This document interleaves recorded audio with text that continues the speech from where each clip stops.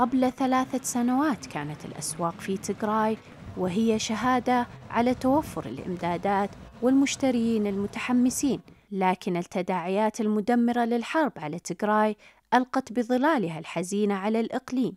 وحتى بعد استعادة السلام واجه تجار السوق تحديات لا يمكن التغلب عليها. وتعرضت رحلتهم من العاصمة أديس أبابا إلى إقليم تجراي المحملة بالسلع الأساسية للعرقلة من قبل العديد من نقاط التفتيش القاسية.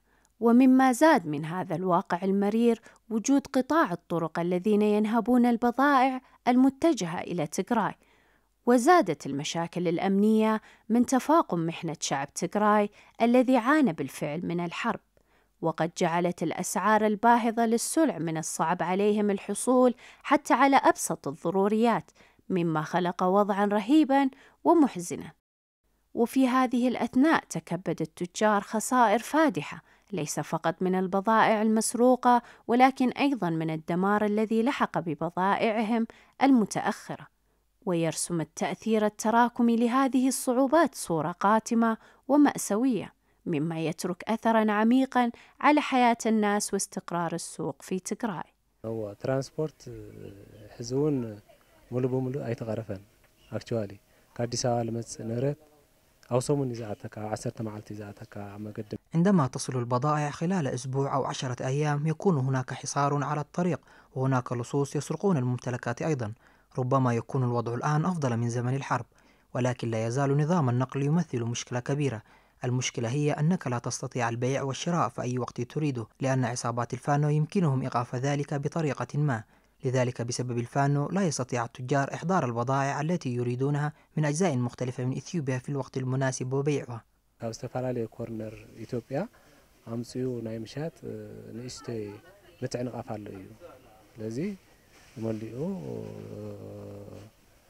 ኣይተፈትሐን ክብለካ ክእል እየ እቲ ናይ መገዲ ሲስተም ዘሎ እቲ ጦርነት ከሎ ምንም ያው ባዶ እዩ ነይሩ ዝገዛ ምንም ኣይነበሮም في وقت الحرب كان متجري فارغا وكانت الممتلكات التي كانت تدخل تجراي في ذلك الوقت باهظة الثمن ولكن الآن بعد السلام بدأنا في إحضار العناصر على الرغم من وجود العديد من المشاكل في الطريق فنحن ندفع أكثر حتى يأتي العقار إلى هنا ندفع أكثر من ثمن العقار لمن يقطعون الطريق إذ كانت الملكية معباة على الرغم من أننا ندفع أسعارا مرتفعة في الطريق إلا أن العقار الذي نحصل عليه منتهي الصلاحية لذلك نخسر أموالنا ብዝተተሓዝቦ ማለት እዩ ኣብ መንገዲ ለ ለይቲ ክኸውን ከሎ خطران ኣሎ ገለ ኣሎ ብዙሕ ከቢድ እዩ الأغراض سهل يعني الأغراض يجي في الطريق يسكروه تدفع غرامة يعني فوق السعر الأغراض يعني ما كان يجي يعني زي زي الناس يعني يعني صعب وهكذا يعني الناس ما ما كان يشتري على كيفه يعني. يعني السعر غالي كله كله سعر غالي ما زي الناس. والله دحين يعني أحسن أحسن من الأول يعني كله كل ما زاد الوقت يعني صار أحسن. حتى السعر من الأول الحين صار أحسن. يعني زي ما تشوف الدكان مليان كله. يعني السعر قاعد ينقص بس المشكلة الأغراض ما تجي على كيفها يعني. في الطريق يوقفوها يومين ثلاثة تدفع 200 300 ألف بعدين تجيك الاغراض أي حاجة دحين لما يشتري هذه ربع 60 ريال 60 ريال ما هو كويس. المفروض يكون 20 ريال 25 ريال. لكن ما جاء. بالقد على قد حال لو يجي كويس. عشان هذه لازم يكون أي واحد عفش يجي كثير. عفش يجي كثير السلام هذا قطع الطرق يكون طريقهم نظيف يكون السلام يجي ما شاء الله تبارك الله نقول لكن لسه عن الدحين. السلام يبغى يجي لكن موقف. هذا لازم يكون يعني نظيف. قطع الطرق مشكلة. لما تجيب انت سيارة من أديس كثير بتدفع بتجيبه هنا. للشعب هذا غالي يكون له السعر. لا قد حالنا يعني. يشتري ويمشي فيها. بس الحاجات كمان الأغراض يعني غالي. ومن الأدس لما يجي كمان ما كثير يعني. لأنه المال الحاجات آه لما يكون يجون هنا فيها كثيرين يعني الناس يقولوا نتزلم يقولون لكن الله أعلم العلم عند الله. فبالنسبة للحاجات يعني على قد حالنا يعني غالي هو لكن ماشي حال. بدل قبل العام السنة هذه كويس. هو تبي قصاص في عداقة حزي تسب تناورا ونخور بزح من قصاص تبهال يلي من لا تفتح عمت قد حدش عمتكم من لا نشتري حشتين بي يعيش الناس هنا في وضع صعب ماليا ولهذا السبب لا يعمل السوق كثيرا شهد السوق حركة بسيطة خلال أسبوع العام الجديد ولكن الآن لا توجد حركة تماما لأن أسعار العقارات مرتفعة وهناك حصار على الطريق ونحن ندفع حتى يصل العقار إلى أيدينا. وبسبب هذا ترتفع الأسعار هنا والناس هنا ليس لديهم القدرة على شراء السلع بأسعار مرتفعة. ولكن إذ لم يكن هناك حواجز على الطرق فستكون الأسعار جيدة بما فيه الكفاية. ويمكن للناس هنا شراء السلعة بسعر عادل.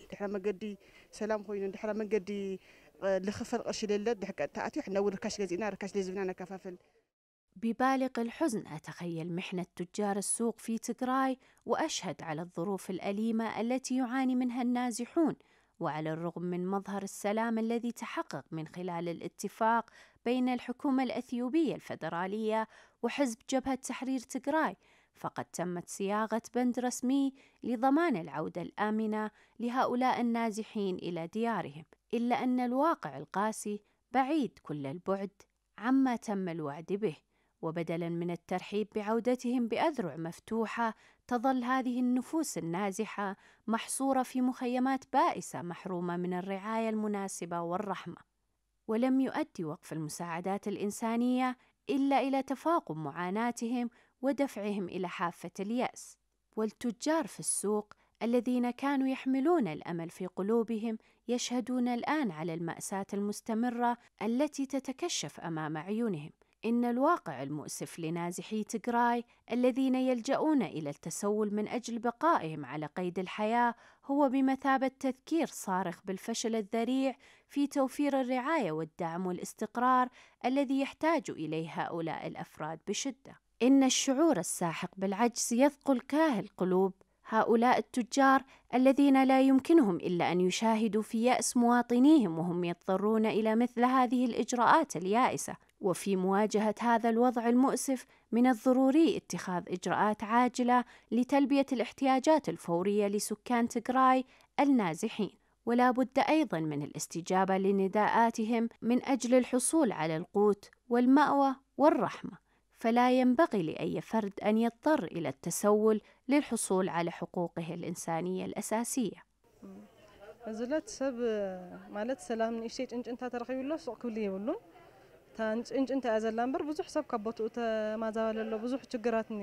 هناك سلام ويمكننا أن نقول إنه أمر جيد أن يتم وقف إطلاق النار ولكن لا يزال هناك الكثير من النازحين تركوا منزلهم ولكي يتم تنفيذ اتفاق سلام بريتوريا يجب أن يكون هناك عمل جماعي وعلى الحكومة أن تفعل ما هو أفضل لأن هناك الكثير من الناس يعانون من الجوع وهناك الكثير من النازحين يعانون. ስለ መንግስቲ ብጣዕሚ እንትን ክሪኦ ኣለዎ ትኪሩ ክሪኦ ኣለዎ حيث الشعب النازحين زي ما تشوفهم كان يدوهم الحكومة الحين ما قاعد ما قاعد يدوهم يعني يلفون في ال... زي ما تشوفهم في الشوارع يشحطون يعني بالله الحين ما رجعوا الى الحين يعني هم موجودين هنا ما حد رجع للمكان ولا حمرة ولا شراء كله موجود هنا النازحين كلهم زي ما تشوفهم هذا يعني اخر سنه ما قاعد يجي المساعدات من الحكومة الدولية كلها يعني. يعني الناس كله ما رجع لمكانه يعني زي ما تشوفوا كله يعني صعب ما كمل السلام مو كامل يعني. نبغى نتمنى يجي لنا سلام كامل. فأنا علمت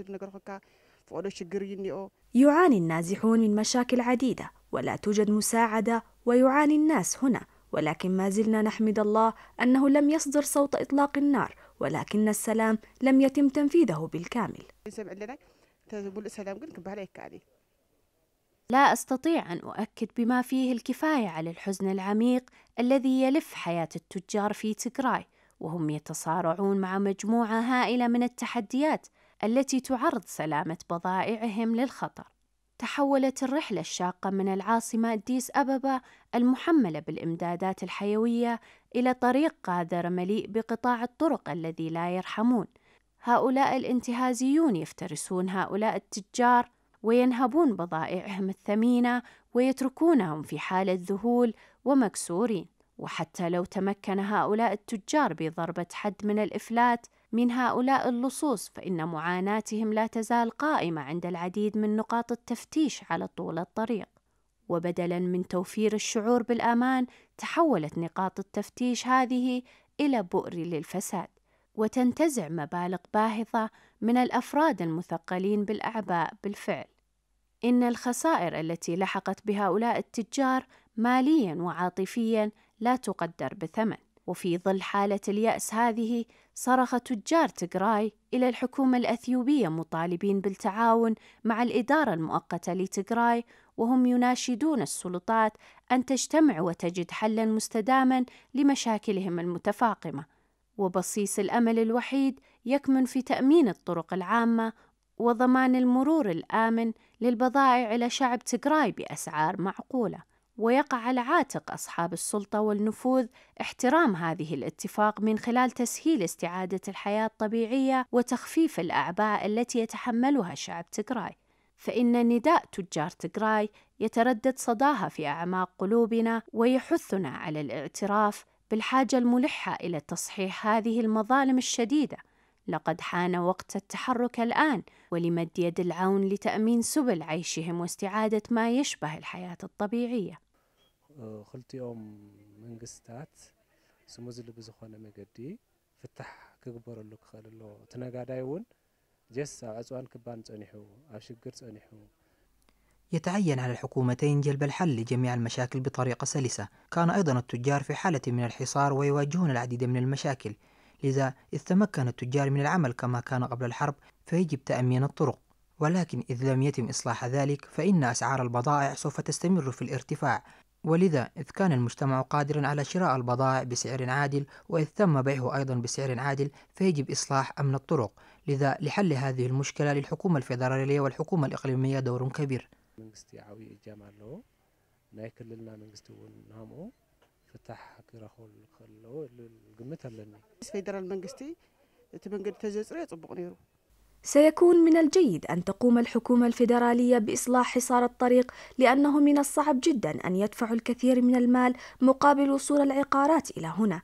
وعندما نبيع العقار سيكون السعر مرتفعا أيضا.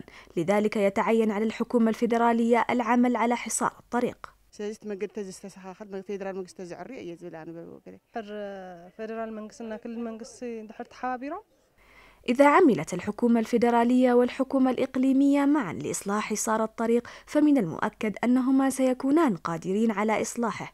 وإذا سيطرت الحكومة الفيدرالية على الممتلكات من العاصمة وأرسلتها إلى هنا واستلمتها الحكومة الإقليمية فلن تكون هناك أي مشاكل تتعلق بإغلاق الطرق.